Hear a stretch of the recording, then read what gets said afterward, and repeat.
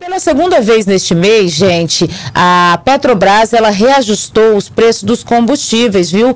E a companhia aumentou o preço, inclusive na refinaria do óleo diesel e também da gasolina. O Israel Espíndola tem mais informações sobre esse novo reajuste. O reajuste foi de 4% para o óleo diesel e de 5% para a gasolina. De acordo com a Petrobras, o aumento foi tomado devido à alta do petróleo nas últimas semanas e à recente desvalorização do real perante o dólar. Com reajuste de 4%, o preço médio do diesel, combustível mais vendido do Brasil, será de R$ 2,02 por litro em 2020. No total, a redução do valor é de 13,2%. De acordo com a Petrobras, já o reajuste para a gasolina pode ultrapassar os R$ reais na bomba. Este é o segundo aumento neste mês.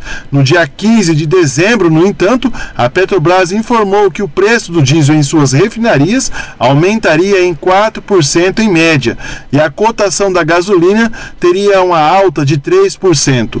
Agora, a empresa parte para o segundo aumento. O aumento começou a ser válido desde a última terça-feira e rapidamente já chegou aqui nas bombas e, claro, que o consumidor não aprovou este segundo aumento só no mês de dezembro. E foi exatamente isso, né? Nós somos em São Paulo e achamos, na verdade, um abuso. É um abuso de, de aproveitar o, a pandemia, tudo referente ao lockdown.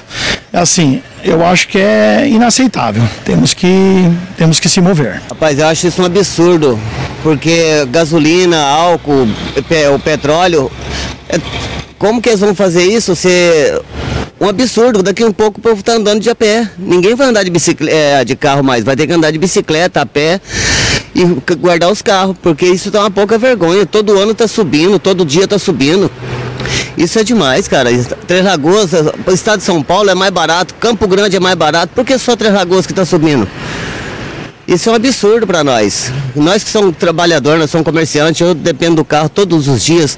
E por que, que eles estão subindo direto? Eles, eles ganham o, o, o combustível deles. E eu não, eu tenho que comprar. Em novembro, o preço da gasolina também teve duas altas seguidas, de 4% e 6%. A Petrobras defende que seus preços seguem a chamada paridade de importação, impactada por fatores como as cotações internacionais do petróleo e o câmbio.